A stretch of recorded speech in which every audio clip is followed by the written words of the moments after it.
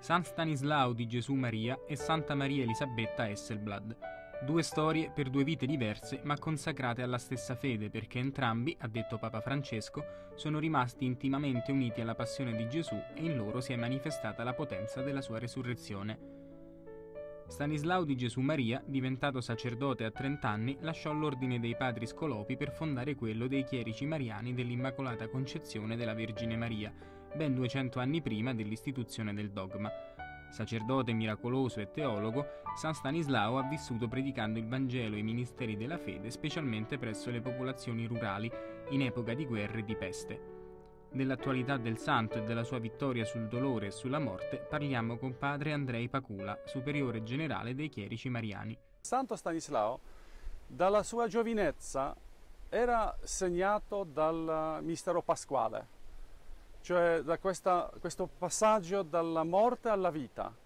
Come adolescente era quasi morto a causa de, della peste, poi eh, aveva grossi problemi a entrare nella congregazione degli Scolopi perché la famiglia era contraria, ha sofferto tantissimo e le chiama questo tempo come tempo di martirio proprio. Allora questo, questa immagine di, di, del mistero pasquale cioè vittoria di Dio sulla morte, eh, si inserisce perfettamente nella biografia di questo santo, santo tanto sconosciuto, a dire la verità, in tanti paesi perché 300 anni fa ha vissuto, però eh, ha tanto da dire per, eh, per cristiano anche odierno.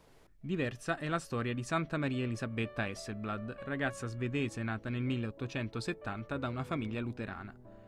Nel corso dei suoi studi infermieristici, la giovane assiste una cattolica irlandese morente e si incuriosisce sulla sua fede, distante da quella luterana soprattutto per la sua devozione alla Madonna. Al termine del suo percorso di conversione si trasferisce a Roma e fonda l'Ordine del Santissimo Salvatore di Santa Brigida, le suore note come religiose brigidine. Impegnata durante la Seconda Guerra Mondiale ad assistere gli ebrei perseguitati e i più poveri, che trovavano riparo proprio nella casa di Santa Brigida a Piazza Farnese, morì a Roma nel 1957 dopo una lunga malattia.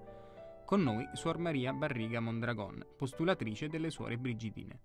Per Madre Elisabetta il suo messaggio è molto attuale per tutto il mondo, soprattutto perché lei è stata una persona molto coerente con se stessa, con la sua fede, ha saputo trovare Dio in ogni momento della sua vita. Soprattutto una cosa molto impressionante che lei ancora non cattolica ha saputo trovare Dio nei più poveri, sono stati loro il mezzo per poter entrare nella Chiesa cattolica.